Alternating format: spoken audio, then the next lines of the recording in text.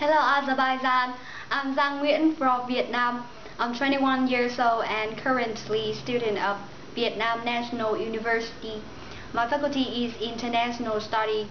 I have a very special bond with music. I love singing, playing piano, and I really, really enjoy singing in English. As the other aspect, I'm captivated by uh, traveling, especially to explore the other ethnic and cultural. I'm very excited to participate in uh, Innovation International Contest um, and um, thank you for this unique opportunity. See you soon. Goodbye.